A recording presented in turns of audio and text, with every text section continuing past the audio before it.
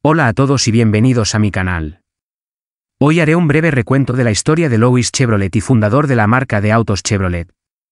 Louis Chevrolet nació el 25 de diciembre de 1878 en Ciudad de la Chaux-de-Fonds, Suiza. Desde joven, mostró un gran interés por la mecánica y la ingeniería, y comenzó a trabajar en talleres de reparación de bicicletas.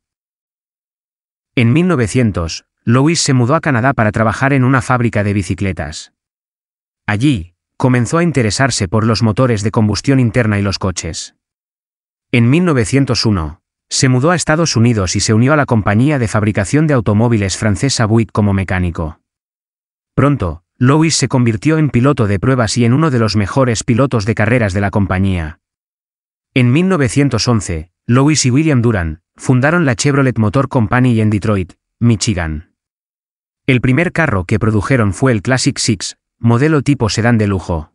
Que tenía un motor de 6 cilindros con 40 caballos de fuerza y con una velocidad máxima de alrededor de 80 km por hora. Baby Grand del año 1914, con un motor de 4 cilindros de 24 caballos de fuerza, con una velocidad máxima de alrededor de 60 km por hora. El 490 del año 1915, con motor de 4 cilindros, con 22 caballos de fuerza, con una velocidad máxima de 56 km por hora. Después de la creación de dichos prototipos de autos en 1915, Louis Chevrolet vendió su participación en la empresa debido a diferencias con su socio Duran, sobre la dirección futura de la compañía.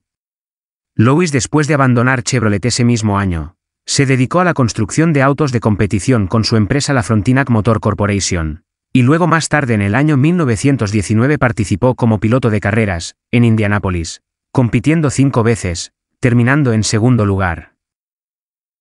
En el año 1920, la compañía Chevrolet continuó produciendo una variedad de modelos populares, incluyendo el Capitol, el Nacional. Estos modelos ofrecían diferentes niveles de lujo y rendimiento para adaptarse a las necesidades y presupuesto de las personas en dicha época. En el año 1926, Louis se dedicó a la creación de motores de aviación.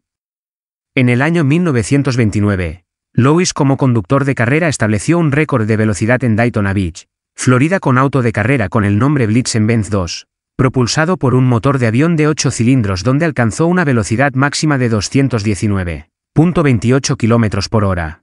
Un año después, en 1930, por la crisis económica de la época, Louis decidió volver a Chevrolet Motor Company pero como mecánico.